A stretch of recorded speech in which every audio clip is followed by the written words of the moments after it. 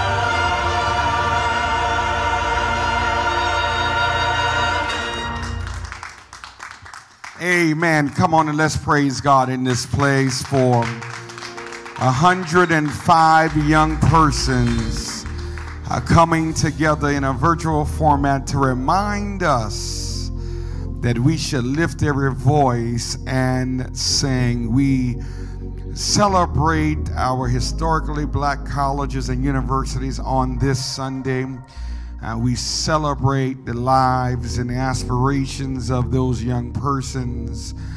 And we join in harmony with parents and grandparents, aunts and uncles, adopted parents and adopted relatives uh, who make it possible for young persons to attend institutions of higher learning. And it is our prayer that on this day that you will be very kind and generous as we attempt to make an impact in the lives of persons yet unknown to us. Amen.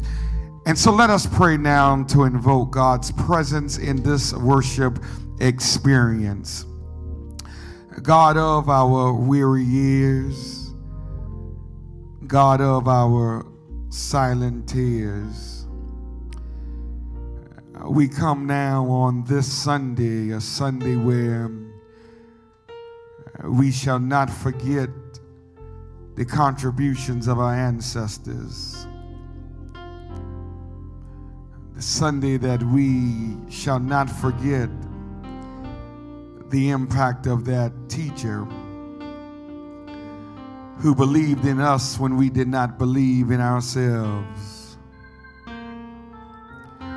God, but we realize that oftentimes we forget about uh, that person who was our Sunday school teacher. That person who took us to YPD meetings youth retreats, those persons who led summer programs to keep us off the streets, those persons who demonstrated love and kindness to us. So, God, we come now thanking you for every educator who's had an impact on our lives. We thank you, oh God, for those persons who were not our formal educators, but through their example, we, we were committed to do our best. And so, God, we say thank you. God, we thank you now for uh, those relatives who, who packed trunks for us to take to our first dorm room. Those persons who, who bought linen for our small beds. Those persons in the church who, who sent care packages. God, we, we say thank you. We thank you for every church member who, who put a piece of money in our hands when we came home from school, we say thank you. God, we could not have made it, first of all, without you. Now, God, we come acknowledging that we've been less than perfect. Lord, forgive us of our sins, oh God. Help us to find our first love. African Methodism first was a place where educational needs were met. So, God, we thank you for the AME Church. We thank you for every school that she's birthed. We, we thank you for Allen University. We thank you for Morris Brown College. We thank you for Edward Waters College. We thank you for Stillman College. We say thank you right now, God. We thank you for those persons who, who, who sold fish dinners and, and chicken dinners so that our doors would stay open. We say thank you, God. For God, we realize that all of our help comes from you. It, it, it doesn't come from, from the White House. It, it doesn't come from the halls of Congress, but, but it comes from you. All of our help comes from you. Now, God, allow your spirit to overflow in this sanctuary. Touch everyone who is in attendance today, God. Touch them, touch every family, touch every child right now, God, in the name of Jesus. We declare and decree that we shall never forget from whence our help comes. Have your way, oh God. In the name of Jesus, we pray. Amen and amen.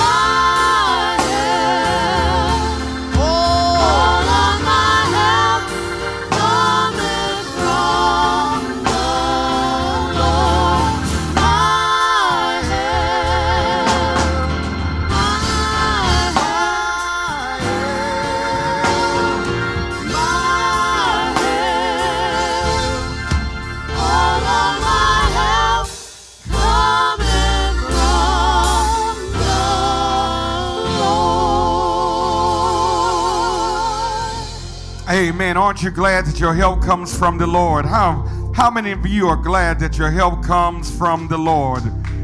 Amen. Our scripture reading for this morning comes from the book of John, the 21st chapter, verses 15 and 16, and we will be reading from the New International Version uh, translation, the NIV, John 21 15 through 16. And when, when they had finished eating, and Jesus said to Simon Peter, Simon, son of John, do you truly love me more than these? Yes, Lord, he said. You know that I love you. And Jesus said, Feed my lambs. Again, Jesus said, Simon, son of John, do you truly love me? And he answered, Yes, Lord, you know that I love you. And Jesus said, Take care of my sheep. Amen.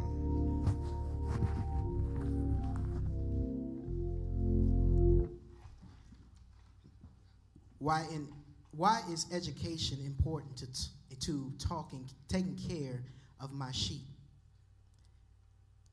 Knowledge used under the guidance of God promotes understanding, compassion, empathy, and inclusion. It is not enough that studies show that 85% of HBCU graduates had higher mobility success than the average graduate across all institutions in the U.S. It is not enough to report that HBCUs enroll 0.1% of the student population, but account for 20% of black students completing a bachelor's degree. It is not enough that HBCUs, also known as the engineers of upward mobility, enroll more low income students than other colleges, with nearly 70% of HBCUs students attaining at least middle, middle class status.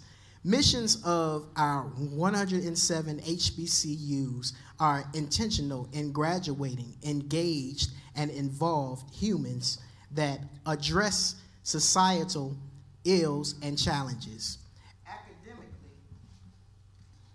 academically, scientifically, and humanly, the graduates of HBCUs are expected to function in societies in a communal sense of being their brother's keeper, to embrace the more inclusive culture of care and not the Western model of individualism.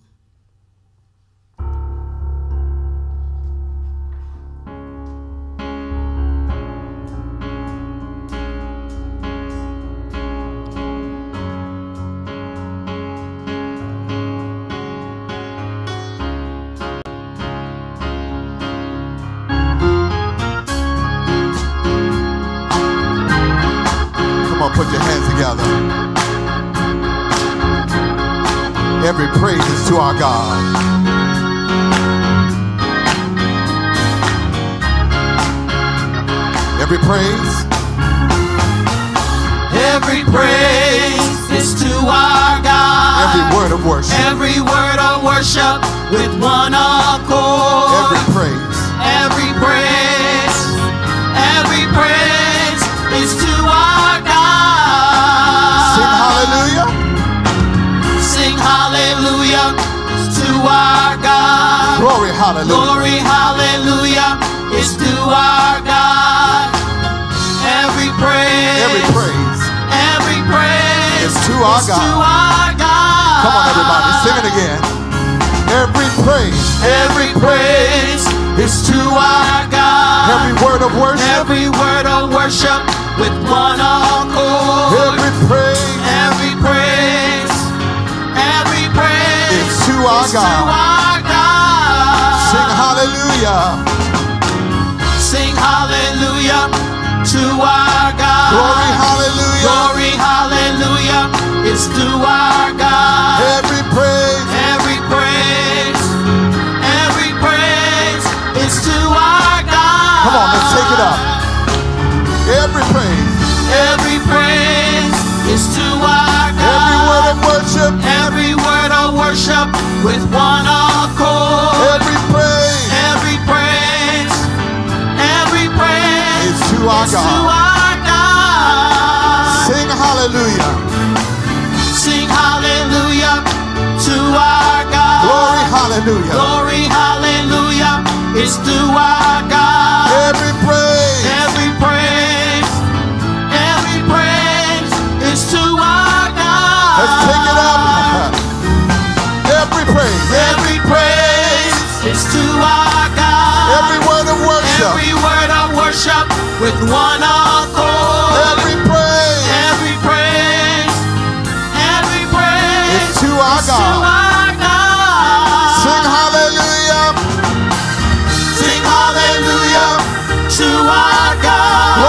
hallelujah. Glory,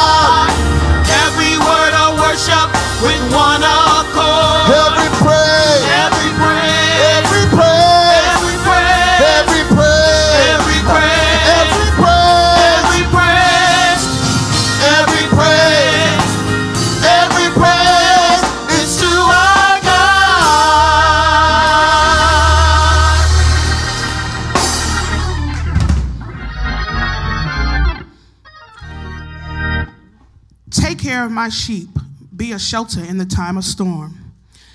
HBCUs do not reject individuals based on their race, creed, religion, sexual preference, etc., and never had a history of doing so.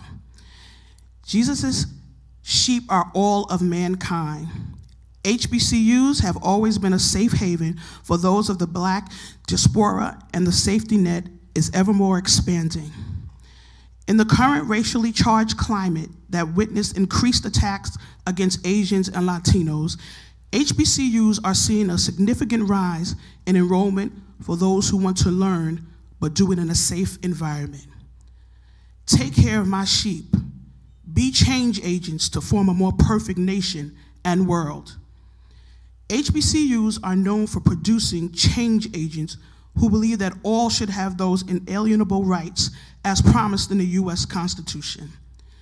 Domestic tranquility cannot be achieved without institutions that do not promote fair and moral treatment.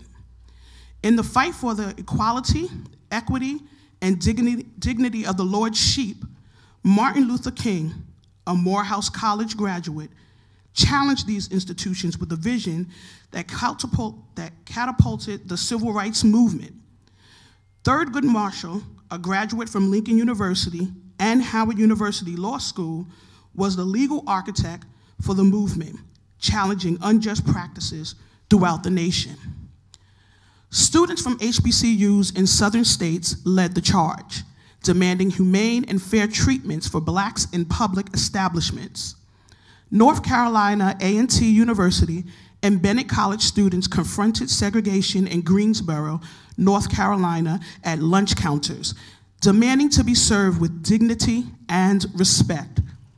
Fisk University students led by Marion Barry, John Lewis, Diane Nash, founded the Student Nonviolent Coordinating Committee, confronted segregation in Nashville, Tennessee.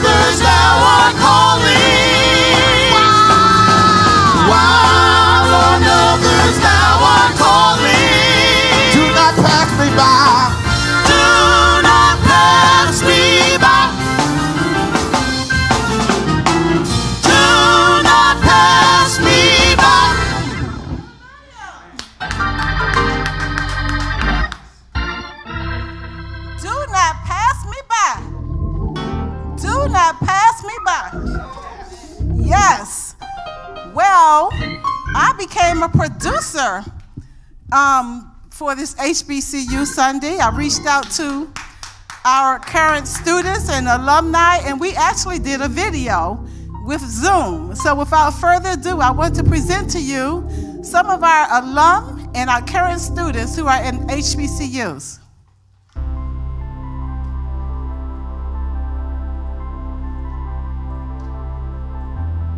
All right. Um, so my name is Shawnice Thomas. I currently attend Morgan State University.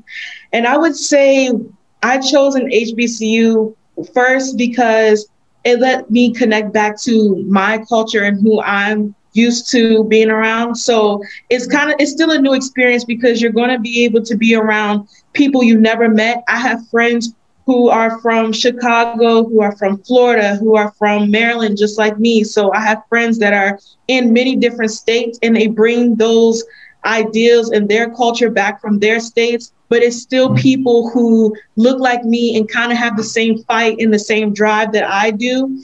And that's why I chose an HBCU.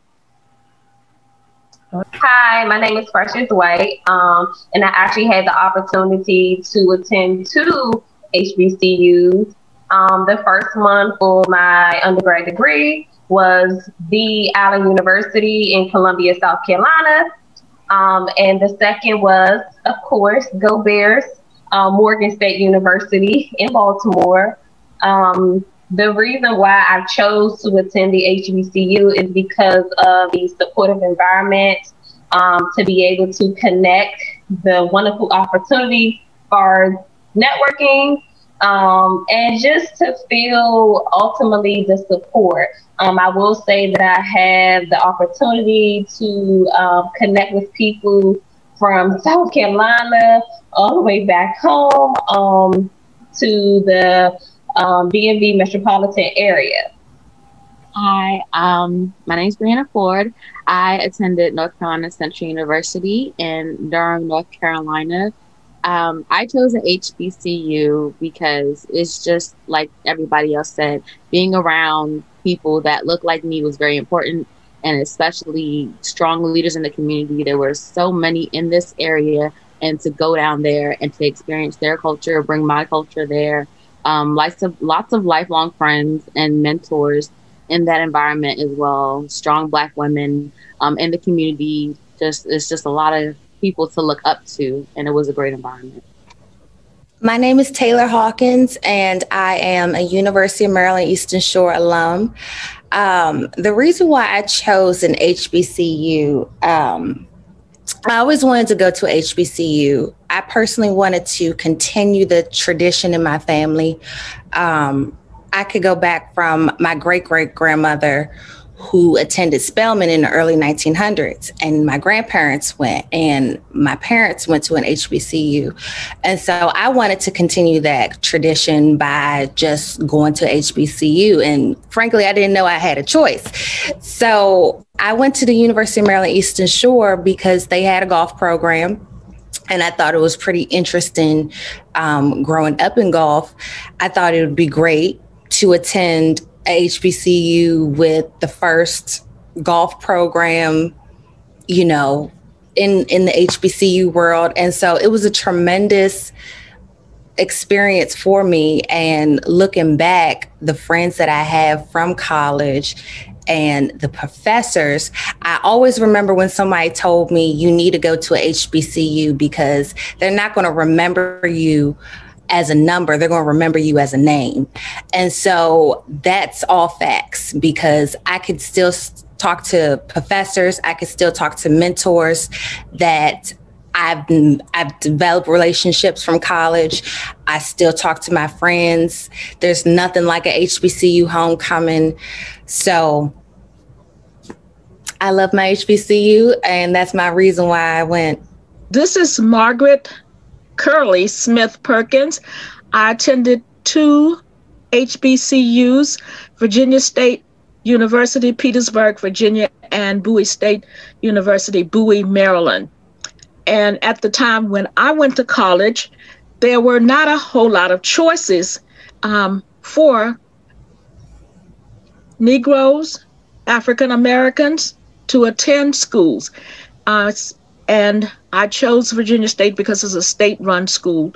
Um, there are bonds and things that we I gathered from going to that college, friends for for a lifetime, mentors for a lifetime. Um, lots of my professors um, remember as the as we have said, lots of your professors continue to know you. Thank you for having me to make this statement. Um, share a moment in your life where you really felt the pride of going to an HBCU. And I'm going to share with you Hurricane Katrina. You remember that. And um, I remember Howard University students making a decision to um, accept the Xavier and Dillard students, and they made room in their, their dormitories, even though their dormitories were sleeping too. They added an, an extra bed so that those students could come to Howard and continue their studies. I remember the professors taking the students out and buying them clothes and so forth because some of their, their clothes and their articles were destroyed. Um, we reached out to professors and they took them shopping. I remember Ward Memorial AME Church buying share for these students during that time. So it, you know, just to be part of two institutions, and that would be the AME Church in the HBCUs who are just caring and they're just community oriented to make sure that we continue to progress our people. So let's start with whoever wants to chime in about what gave you that great pride, what moment really instilled that pride that you were part of an HBCU. I, I can go first. So one moment was um, after the murder of George Floyd and a lot of the protests began uh, Morgan State was one of the first schools to have their own protest in Baltimore. And that day was like no other because in the middle of COVID, pretty much every campus organization, every student, it was endless people. They everybody came together. We were all in different cities, different states because of COVID. They sent everybody home. Everybody still found a way to come back to Baltimore and walk through the streets and protest. There were fundraisers and money raised. There was donations to the homeless, and there was there was just so much activism just from that terrible moment that sparked because of that. So that was one time I was I took so much pride in our school because they found a way to give back and to show their activism and to speak up for our community. Thank you. Anyone else? So um, I would like to talk about something. It was also recent during um, election season. Morgan was actually one of the few well, the only university in Maryland and one of few universities to become a polling station where, and they actually made it so that Morgan students could vote there, even if you did not live in Baltimore City, in Maryland, or anything. You could come and you can vote. And um, I think that was really important because of the fact of, you know, the stigma behind that young people do not vote. And me being a member of the Black Girls Vote chapter at Morgan, it was really important to me to activate for like, you know, for young people to vote. I think it's important. You know, I have always voted ever since I was of age to vote. I have, you know, told my friends like, hey, like y'all need to vote. This is important. This is, you know, our lives, our livelihood. These people are in charge of our state, our country. So, you know, it's important to vote. And I think with our president really pushing for us to have the polling station on campus was really important. Every day of the week when people could come vote, it was crowded, it was packed, the lines was long, all the way out the campus to the street. People were lined up ready to vote. So I think that was something that really made me proud to be a student at Morgan. my, my aspirations uh, actually um, now I got, you know, um, with my music degree, uh, I just hope to to get a master's and then hopefully teach at a HBCU. Uh, whether you know whether it's here or down south, but to um, help a lot of students, music students who you know who want to be music students and music major, to know about the ins and out of the business, um, and you know that that's that's my goal to be a professor. You know, um, at a small HBCU college or something. You know, uh, something small, not not a big university, but you know, just to teach. So that's my my aspirations and goal, and then hopefully retire after that. So. Well, I have to tell you, um, Thornton, that um, all you need is some of the classwork. I have a feeling you're going to be like my father when he earned his master's degree at Howard, and he knew Yes. more than the professors, and they just said we just need to just go on and give you the degree because we really can't. Ah, do that's what I, I, I that's what I'm hoping for. I have a feeling Dr. you're going to be in that. That's what I'm hoping for. Take care of my sheep. Be the voice of reason in chaos. We cannot begin to name all of those who are affiliated with HBCUs who have or are taking care of his sheep. There is not enough time. However, in this COVID 19 pandemic, one stood out who took a stand for righteousness to take care of the Lord's sheep. Keisha Lance Bottoms, the mayor of Atlanta, Georgia, and a graduate of Florida A&M University. To protect the citizens of Atlanta, Georgia, she had a legal face-off with the Georgia Governor Kemp, a governor who chose to disregard the science by not requiring the citizens of the state of Georgia to wear masks in public during the pandemic. In defiance, Mayor Keisha Lance Bottoms mandated mask wearing in Atlanta, Georgia. She put safety of the Lord's sheep before politics. Mayor Lance Bottoms, an HBCU graduate, stood her moral ground to protect God's sheep in the city of Atlanta, Georgia during a pandemic. Take care of my sheep. Be the voice for the voiceless until they can speak for themselves. Stacey Abrams, a Spelman College graduate, did not go away when she realized voter suppression kept her from becoming the governor of Georgia. Oh no, she organized. Her grassroots organizing skills made the Georgia presidential and senatorial election results decisive. Stacey Abrams heard the clarion call from Jesus Take care of my sheep. She moved to save the soul of America. She moved to save the lives of America.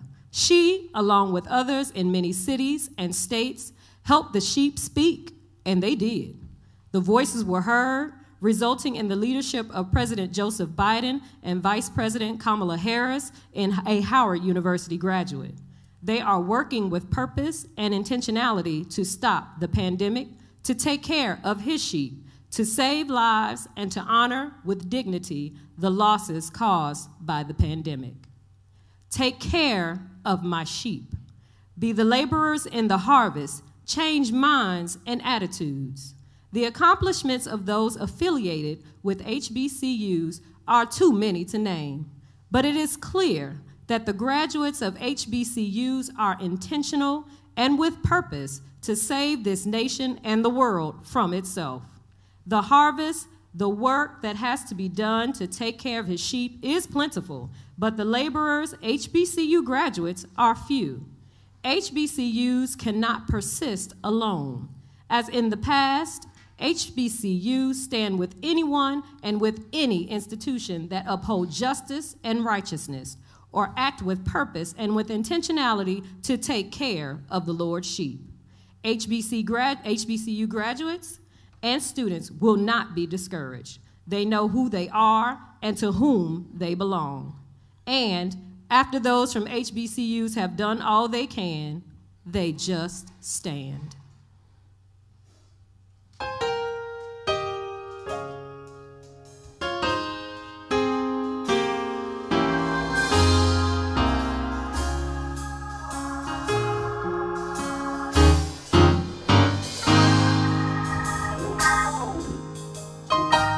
Done all you can name, seems like you can't make it through. And what do you say when your friends turn away? You're all alone.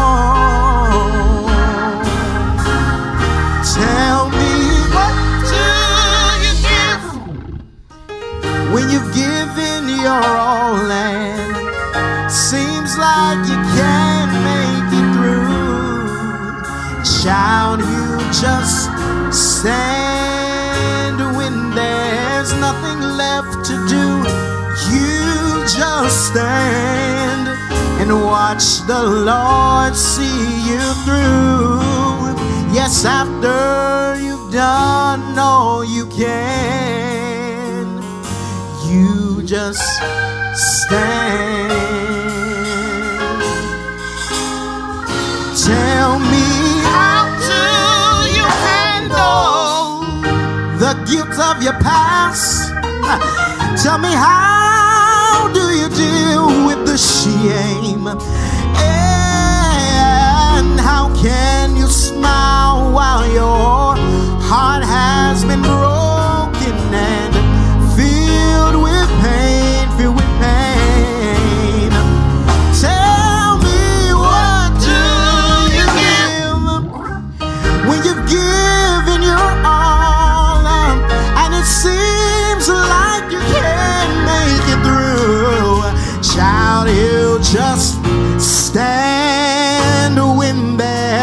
nothing left to do. You just stand and watch the light see you through. Yes, after you've done all you can, you just stand and be sure. And be, sure. be not entangled in the bondage again.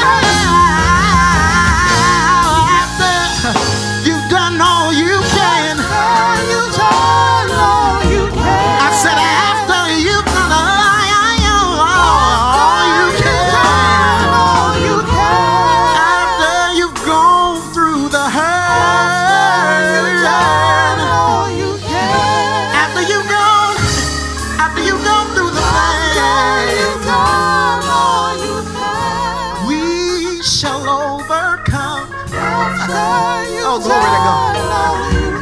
I said, We shall overcome. After you've done all you can.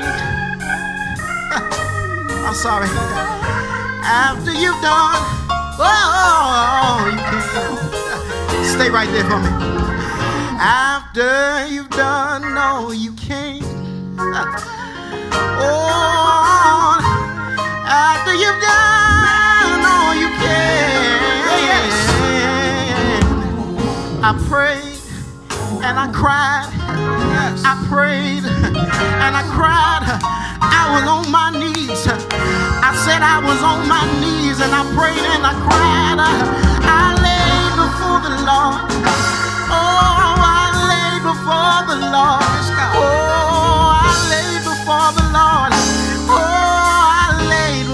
the Lord. After you've done all you can. Oh, after you've done all you can. Hold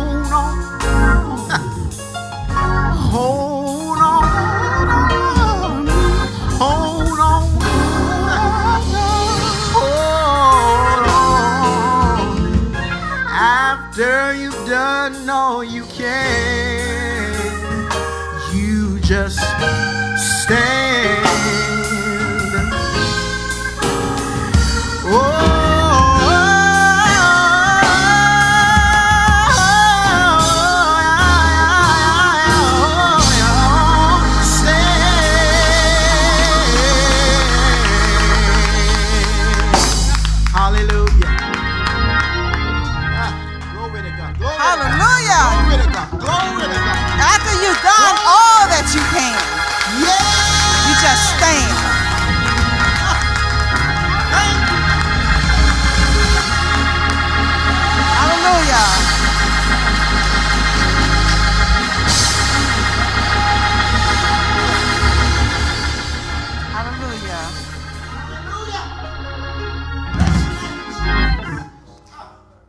Now, these wonderful readers back here, they have shared with you the contributions of HBCUs. Yes, they have. Now, financial aid and the loan officers don't ask what your degree will be. They don't ask what your earning potential is. So, an English major is going to pay the same tuition as an engineer or an accountant, regardless of their earning potential. But we have the data 75% of the African Americans who earn a doctoral degree have a foundation with an HBCU. The importance is what do we do with that doctoral degree? We have to ask the right questions to solve solutions. So the other ones, the philosophers, the sociologists, the social workers, the political science majors, those are the ones who are adding that moral authority to our STEM majors who are asked, and that helps them ask the right questions and solve solutions. So we really want our students to leave the university debt free if possible. That's with your contribution, your contributions to the HBCUs, to the United Negro College Fund. That will help our students so much so that they won't choose an area because of the earning potential, but they're going to choose an area because of their talents. That's what we want. We want the students to choose their passion and do well in it. And they can only do that with support from you. So, um, without further ado, I want to first of all congratulate Howard University for their reaccreditation. They have achieved their reaccreditation through the Middle States with no contingencies, no contingencies. And so I would like to now introduce the leader of Howard University, Dr. Wayne Frederick.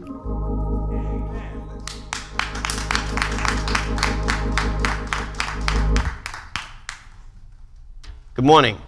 Thank you to the Ward Memorial AME Church for the invitation to speak on HBCU Sunday.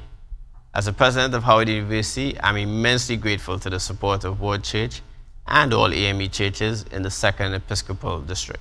It is true that HBCUs in general and Howard in particular are in the midst of a national moment.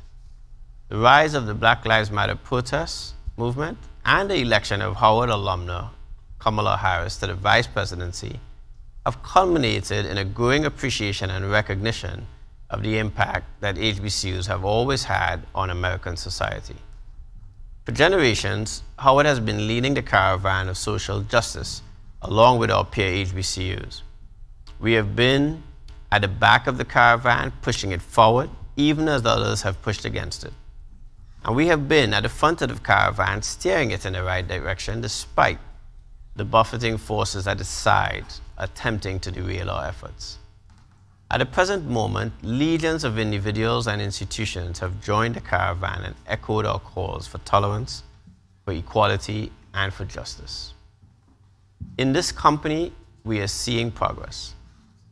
As it says in the book of Romans 12, 5, 8, rejoice with those who rejoice, weep with those who weep, live in harmony with one another. Do not be haughty but associate with the lowly. Never be wise in your own sight. Repay no one evil for evil, but give thought to do what is honorable in the sight of all. If possible, so far as it depends on you, live peaceably with all.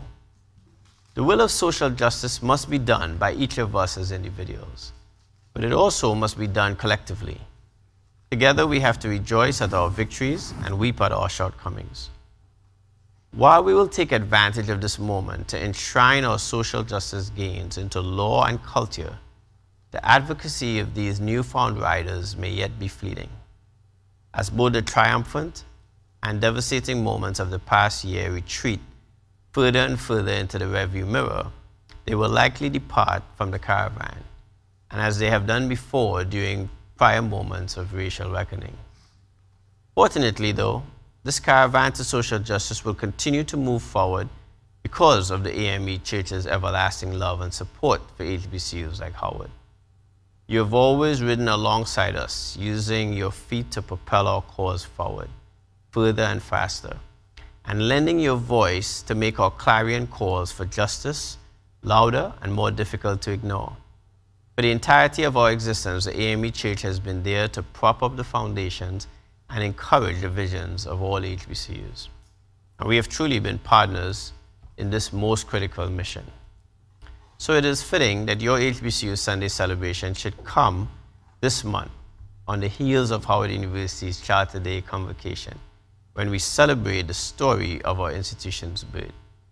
On March 2, 1867, Howard University's founding charter was signed into law by President Andrew Johnson, creating a place that would educate freed slaves and empower black Americans to participate more fully and autonomously in American society and our national economy. But the same day he signed our charter into law, President Johnson also vetoed the first Reconstruction bill that would have given essential support to all black people living in America who were trying to transition from slavery to freedom, from oppression to opportunity. That Howard University was given life by an openly racist and misogynistic president is a confounding set of facts.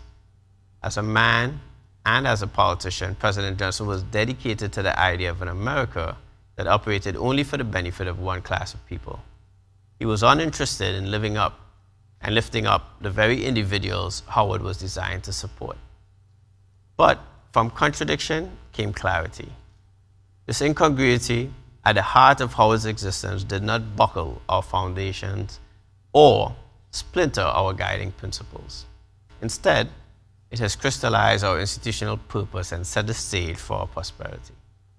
Howard University was created as a result of government action. As such, embedded into our fabric is the duty to support that government and the country of the United States. However, Howard has always understood that government in America, local, state, and federal, has not always operated in the best interests of its black, black residents. Certainly, before we were citizens, and even after we became Americans in the eyes of the law. The result of this tension was a recognition by Howard that America must be changed, and more importantly, an undaunted belief that it could be changed, and most essentially, that it was the responsibility of Howard and HBCUs to lead that change. And so Howard set out to become more than just an institution to train freed slaves. In that very founding charter, we were determined to be a full fledged university, one where black people could come to get a complete and well rounded education that enabled them to acquire knowledge and learn how to use it for a greater purpose.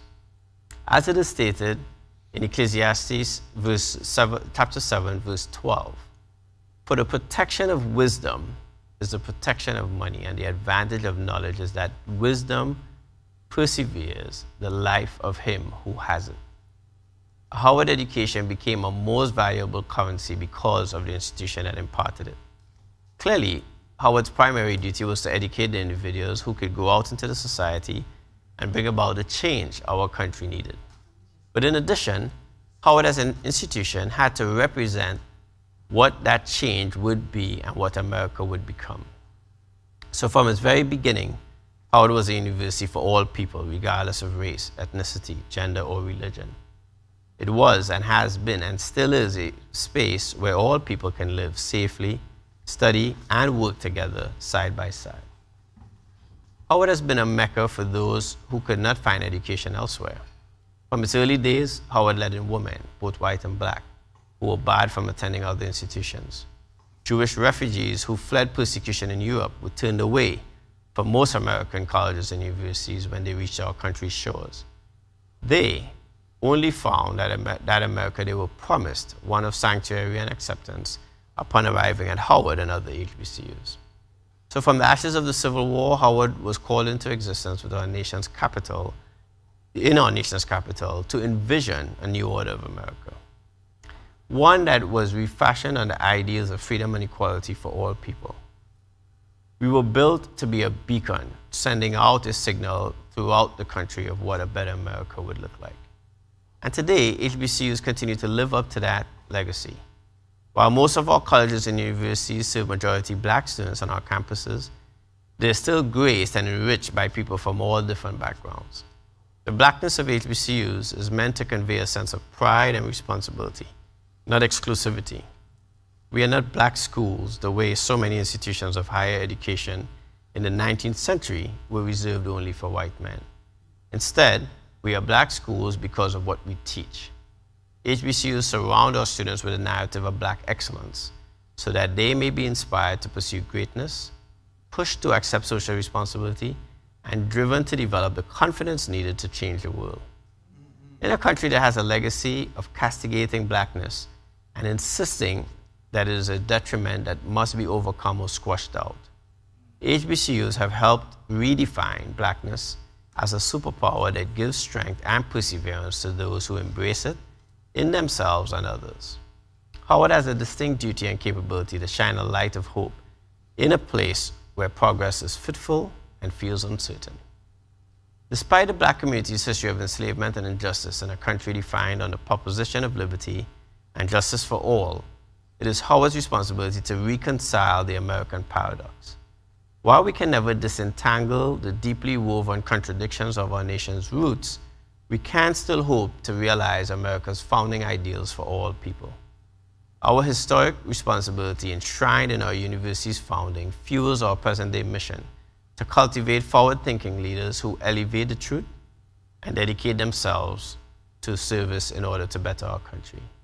So, as it is said in the book of Jeremiah, chapter 29, verse 7 Seek the welfare of the city where I have sent you into exile, and pray to the Lord on its behalf, for in its welfare you will have welfare.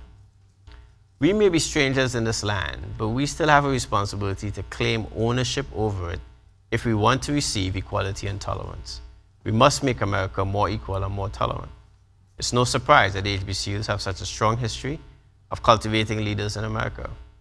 Many of our students, faculty, and staff come from underprivileged and under-resourced communities. They understand the problems of our society and understand that they are fortunate enough to receive an education and be in a position to do something about those, eh, those issues. HBCU students are seeing all that is wrong with our society, from the pandemic and healthcare inequities to police murders, and systemic racism. And they want to come to our colleges and universities to learn how they can be leaders who work on these issues. Howard has always existed at the nexus of America's pain and its promise. We were planted intentionally close to the government that had both allowed our enslavement and granted our freedoms. In order to hold America to account for the wrongs it committed and to insist on its reformation going forward. Our mission has always been to elevate and insist on the truth and to use the truth as a guardrail toward progress. We have a responsibility of service to America, a country that has not always served our interests. We are committed to combining America's hallowed ideals with the truth about its flaws to mold a better nation and a more equal society. From the horrors of the Civil War, Howard saw this potential of America. Howard did not retreat from this country, but decided to reside within it in order to change it from the inside. Howard an HBCUs have an abiding love for America and believe in its promise. Yes, we were created from pain and anger, but we were fashioned out of love and hope. The black community received and witnessed unspeakable horrors done in the name of America and enshrined into law in this country. But despite all of that, it was never our intention to leave. We had an enduring belief that we could be both American and black. We could have spaces that, of course, invited others in, but that were distinctly our own. Our HBCUs and our AME churches provided those places of solace. These are black spaces within America, places where we could temporarily forget our blackness forget our otherness, and explore the depths of ourselves in community with other people who look like us. And we would also be invited and welcomed in other parts of society as equals, as Americans. In these spaces, our differences would be appreciated, our blackness would be considered a critical part of the whole. Like no one else, we saw America for what it was and what it could be. And we know that we were the only ones who could realize America's tremendous promise.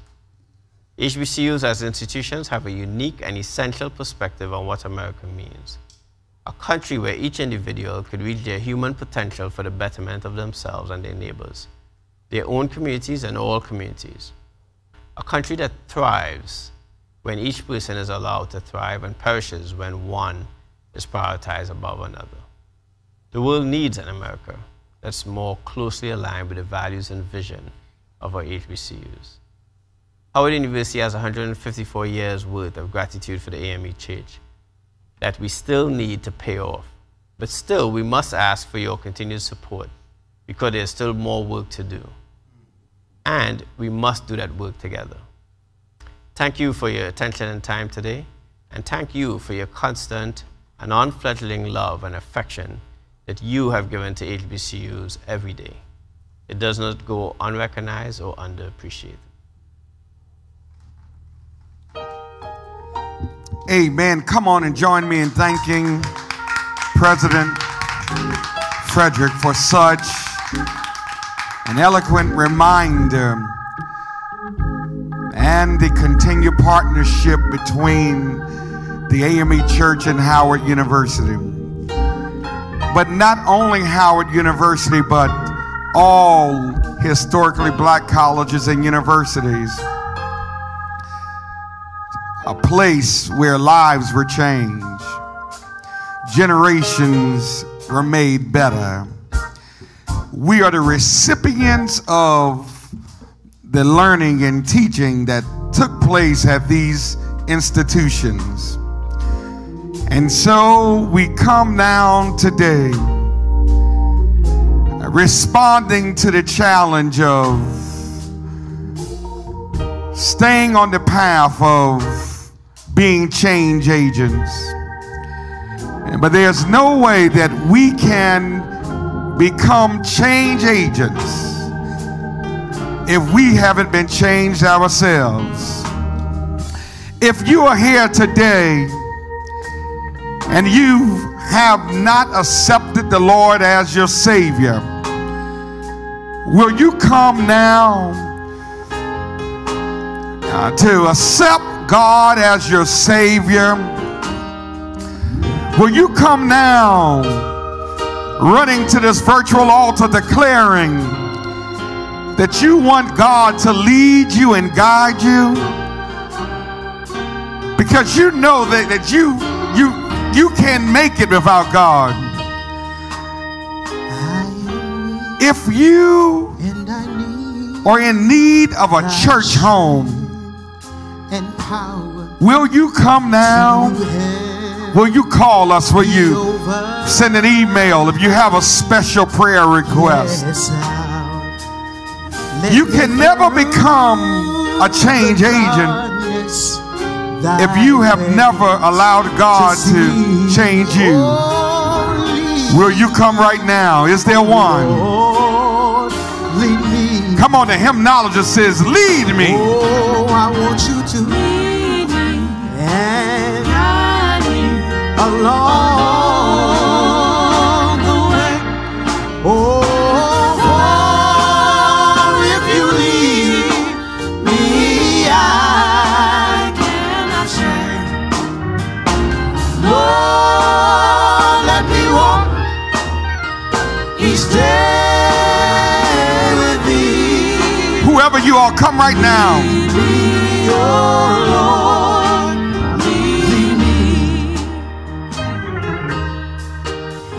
Help me tread in the path of righteousness. Be my aid when Satan and sin, sin oppress. I am putting all my trust in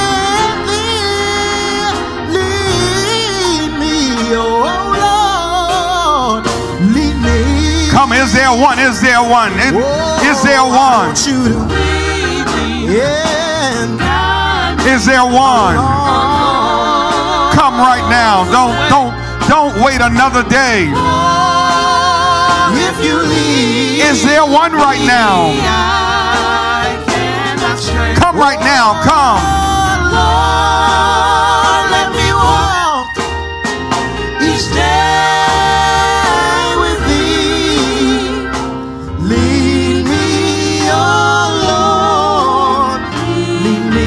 us pray. Let's pray. Let's pray. Let's pray. Come on, let's pray.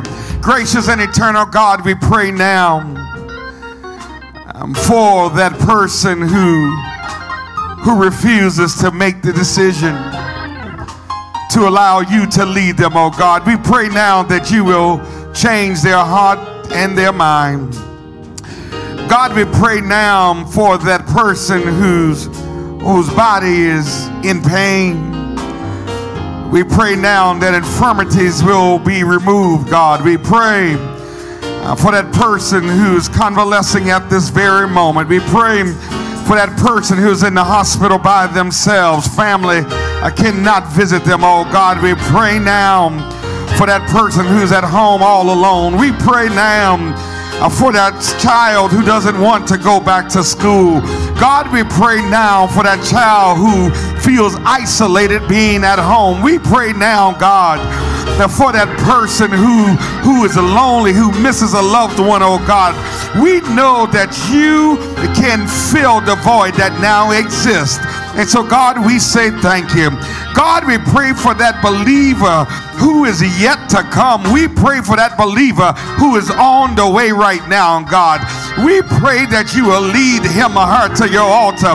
God, we pray that relationships will be restored. We pray that families will be brought back together. We pray now, God, that you will strengthen this ministry, that you will strengthen this church, God, strengthen its members, oh God. We pray now for our churches, God, in the second Episcopal district. We pray now for our Episcopal leaders, God, Bishop and Mother Davis. We pray now, God, for presiding elders and their spouses. We pray now for that church who's debating what to do for HBCUs. God, we pray that we will follow your heart and your mind, that we shall never forget about the least of these, God. So have your way in the name of Jesus, we pray. And we shall forever keep singing and allowing you to lead us along the way. For if you lead us, we cannot stray. Come on, let's sing it one more time as we say amen. Come on, come on, come on, come on. Oh, I want you to, yeah, along.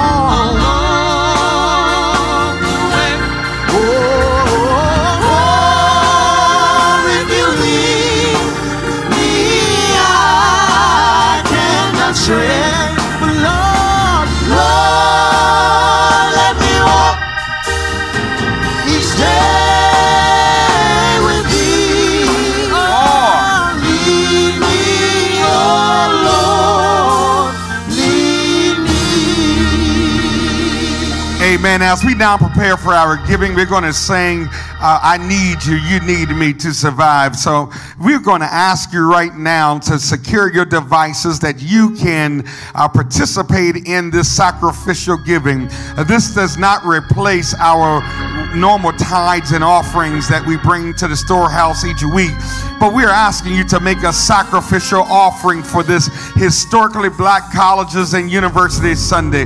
Will you do so at this time? Has God led you to uh, this point? Did you hear all of the statistics that uh, Dr. Jones laid out in this passage in these readings that were done tonight?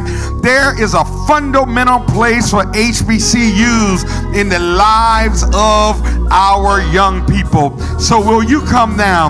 Let us secure our devices and let us pray before we bring our gifts to God. Amen. Gracious and eternal God, we pray that you will bless every gift and every giver. I bless those who don't have it to give right now, but God, lead them to become change agents in your world, in your church. In the name of Jesus, we pray. Amen and amen. I need you. Come bring your gifts right now. There are three ways to give. We're all a part of God's body. Come right now. Stand Come. with me. Agree with me. We're all a part It is His will that every need be supplied.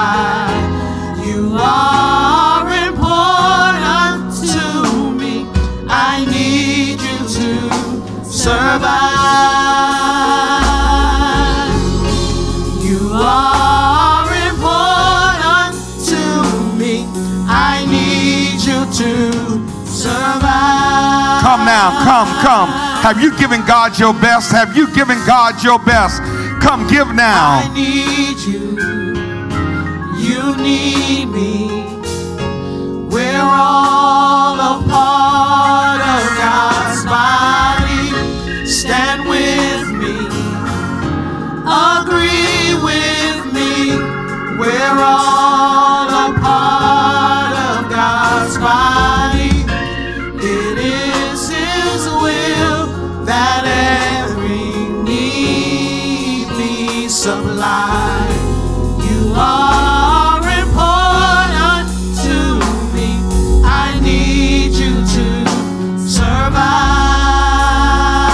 and eternal God, we thank you for the gifts that have been brought into your storehouse, God. We thank you for every gift that's been given, God. We pray now uh, that you will consecrate, that you will multiply, that you will bless our gifts, God, that our gifts will be used to fulfill your uh, kingdom here on earth, God. We pray now that we will bless a, a young person, God. We pray now that someone will graduate having owed less than what they did when they went into school, God. We pray now uh, that you will do more than we can ever imagine. In the name of Jesus, we say thank you for every gift that's been brought into your storehouse. In the name of Jesus, we pray. Amen and amen. Amen. Amen.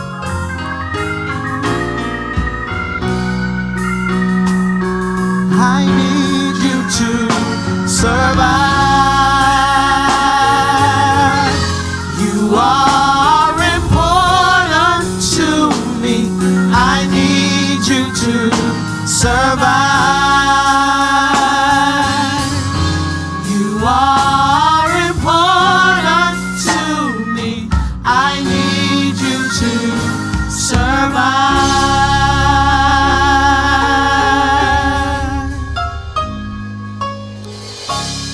Amen. We thank God for everything that's been said and done uh, this morning, and we want to thank God. Will you join me in thanking and bringing to this microphone none other than Dr. Linda Jones, PhD?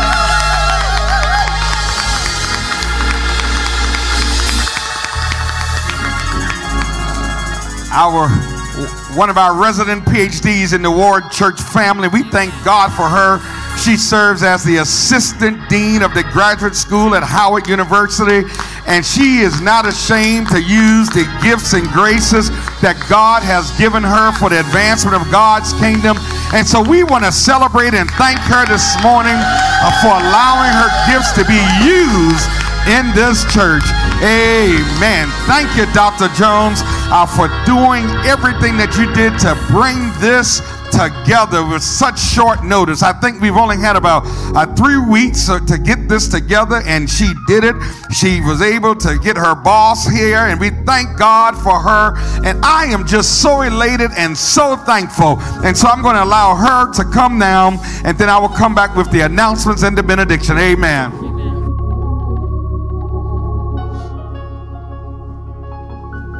Thank you, Pastor. I felt really honored when he asked me to um, chair the HBCU um, Sunday. So thank you, Pastor. I want to thank the ward members for participating. We ask for you to provide your names if you graduated from an HBCU. I first of all want to apologize to Dr. Andrew Jenkins III, who is very much alive. And so please disregard what's on the chart for you.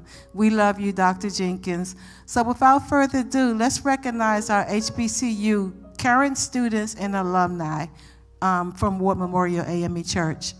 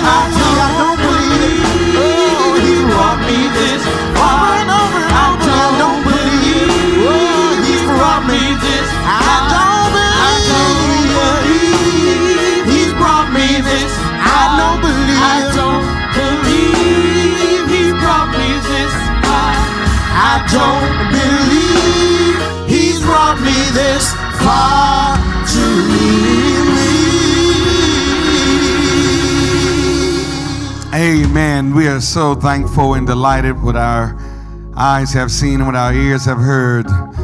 And we salute all of you for making the decision that you made to attend the colleges and universities that you did attend. And we, we, we certainly do not shy away from those persons who did not attend an HBCU. We thank you.